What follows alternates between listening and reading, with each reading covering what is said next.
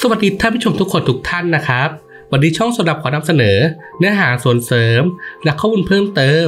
ที่มีอยู่ในนิยายนะครับ แต่ในอนิเมะไม่มี ของเรื่องเกิดไปทั้งที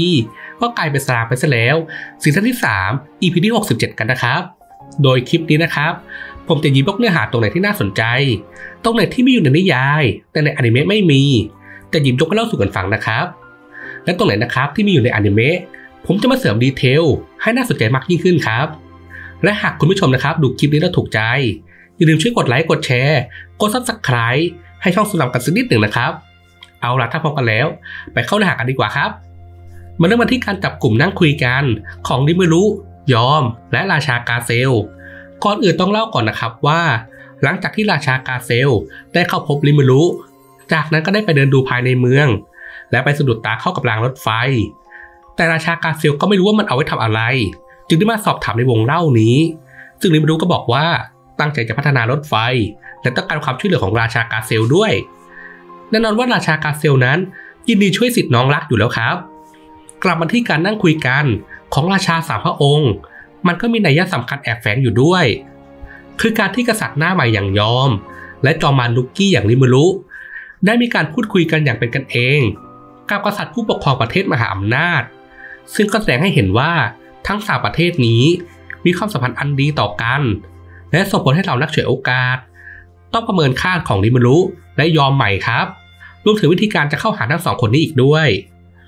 สำหรับการบริการระดับไฮเอ็นซึ่งเกี่ยวกับเบียร์ที่ใช้ในการจัดเลี้ยงครั้งนี้ริมารุก็ได้นำแนวคิดญี่ปุ่นมาปรับใช้ด้วยครับ คือการแช่เย็นแก้วเบียร์เอาไว้ การที่ได้จิบเบียร์เย็นๆก็ทำให้ผู้ร่วมงานช่างสุขใจ แต่ที่พีคไปกว่านั้น ยังมีการบริการดินเหล้าเบียร์โดยเผ่าเอลเผ่าที่ขึ้นชื่อเรื่องรูปร่างหน้าตาอีกด้วยครับ แน่นอนว่าลิมารุนั้นไม่ได้ต้องการแบบนี้ตั้งแต่แรก แต่เป็นเหล่าเอลเองครับผมที่เสนอตัวว่าอยากช่วย และด้วยความสมัครใจของตนเองเลยครับ อาหารชุดแรกที่มีอยู่ในห้องการจัดเลี้ยง อาหารเหล่านี้ถูกรังสรรค์โดยชูนะ และคุณโยชิดะประกอบไปด้วยแซนด์วิชที่สอดไส้ผัก กับเนื้อเคกาโมะหรือเป็ดครึ่งไก่ถัดมา สเต็กลมควันเนื้ออูจิกะ หรือกวางครึ่งวัว นอกจากนี้ยังมีราดหน้าผัดผัก คาราอาเกะ สลัดเนื้อย่าง และยังมีอาหารล้างปาก เป็นเชอร์เบตผลไม้นานาชนิดด้วยครับ ส่วนพวกสตูเสือขนดำและนกปีกเสียนย่าง ที่ถูกเสิร์ฟในวันพัวกิดก็มีการจัดเตรียมไว้เช่นกัน ถึงแม้การค้นหาศูนย์ที่เป็นวัตถุดิบจะลำบากยากเย็นก็ตาม แต่หากยึดตามข้อมูลที่ได้มา ก็จะสามารถหาวัตถุดิบเหล่านี้ได้ภายใน 3 วัน สำหรับอาหารที่เป็นไฮไลท์คือปลาที่นำมาทำเป็นอาหารญี่ปุ่นอย่างพวกซูชิและซาชิมิ ปลาตัวนี้มีชื่อว่าสเปียโทโรหรือปลาเกาะหัวหอก เป็นอสูรทะเลชนิดหนึ่งที่มีโครงกระดูกภายนอกที่แข็งมากๆ และมีส่วนหัวที่อันตราย ดุดดังหอกที่แหลมคม มันเป็นปลาที่มีรูปร่างภายนอกที่น่ากลัว และแม้ไม่นับส่วนที่เป็นเขา ก็มีความยาวทั้งหมดกว่า 4 เมตร ซึ่งท่ามกลางโครงกระดูกภายนอกที่เหมือนชุดเกาะนี้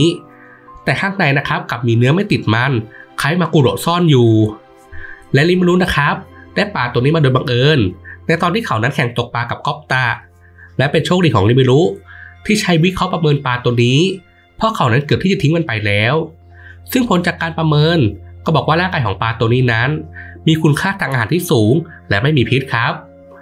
สำหรับการแน่ปลาอย่างชำนาญของฮาคุโร เขาได้รับการสืบทอดมาจากปู่ของเขา โดยปู่ของเขานั้นก็เป็นชาวต่างโลกที่ได้มาอย่างโลกใบนี้ ปู่ของฮาคุโรนั้นมีชื่อว่าเบียคุยะอารากิครับ